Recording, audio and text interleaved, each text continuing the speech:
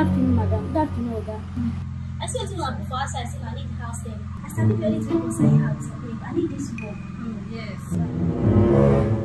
But why are you not putting on bra? Yes! I don't like a bra. Get small dress. I don't like bra. Mm. Turn around, let me see you. Are you not putting on pants and you're still shaking your waist in my house? I don't like pants. Babe! What? You can't do that. Yes, I have to. Just let him free. And there's nothing wrong with money on free. That money. Oga, thank you.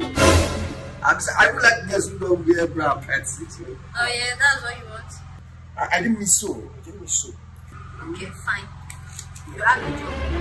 Thank you, madam. Thank you. Which I will start